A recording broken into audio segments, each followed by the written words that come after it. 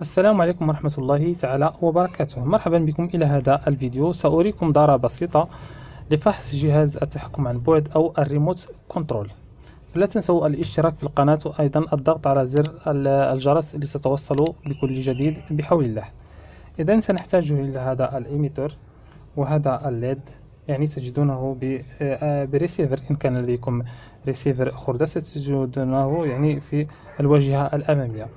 وأيضا هذا الجرس تجدونه في المنبهات أو الساعات. أيضا مصدر للطاقة من 3 فولت إلى 5 فولت. آه، يعني شاحن أو يعني بطارية هاتف.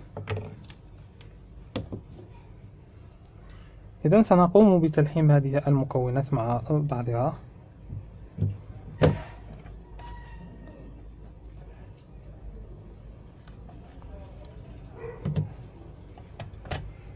هنا بهذا ال emitter لدينا هنا الزائد وهنا الناقص يعني السالب وهذا مخرج الإشارة. وأيضا ال LED به, به قطب الموجب والسالب. إذا سنقوم بتلحيم الزائد هنا مع الزائد بال emitter وأيضا الزائد بالجرس.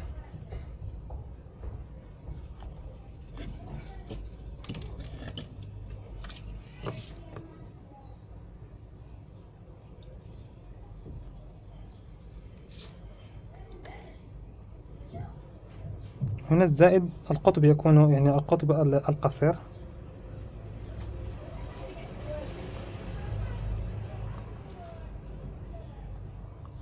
والسالب للمصباح سنذهب به إلى مخرج الإشارة بالإيميتر.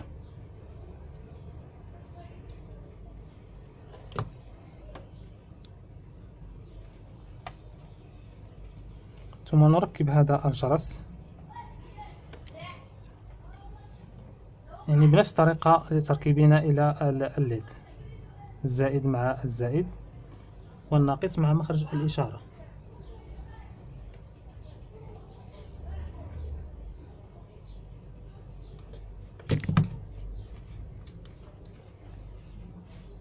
ثم في الوسط نضع السلك السالب يعني مدخل التيار.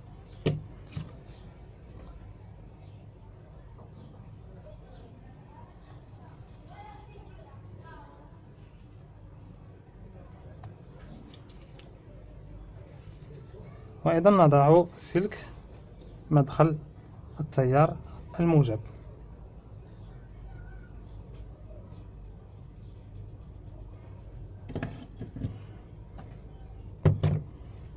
إذن أهدى كل شيء بالنسبة لتلحيم المكونات.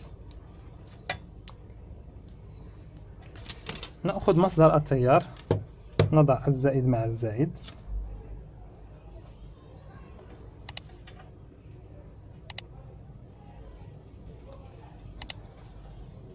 والسالب مع السالب. نضع الشاحن في مصدر التيار يعني مأخذ التيار. ثم نقوم باختبار هذا الريموت هل هو شغال أم لا.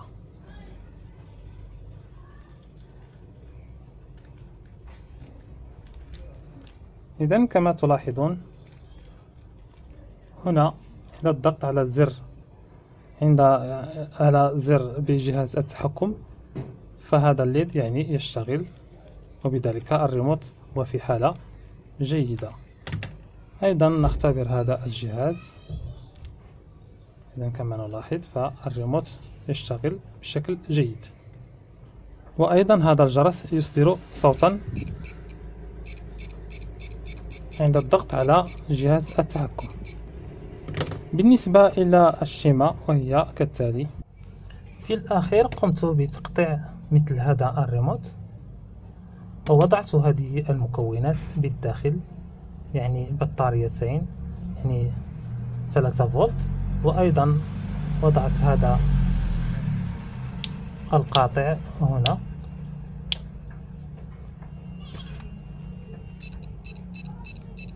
والجهاز شغال بشكل جيد.